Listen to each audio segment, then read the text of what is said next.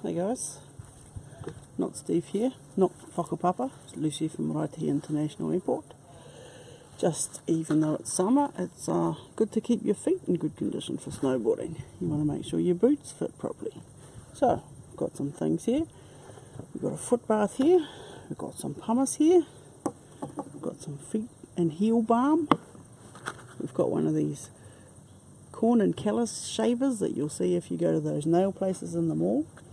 Doesn't matter if you don't have any of the stuff because what you do with this stuff is you put it in the foot bath and you get the foot bath and you just throw that away because you don't need it. Snowboarding's a serious business. Serious people need serious tools. This is how you get rid of your heels.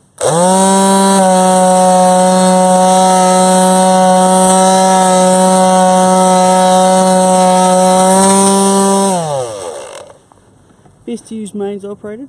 Battery probably wouldn't cut it. Alrighty. See you guys soon.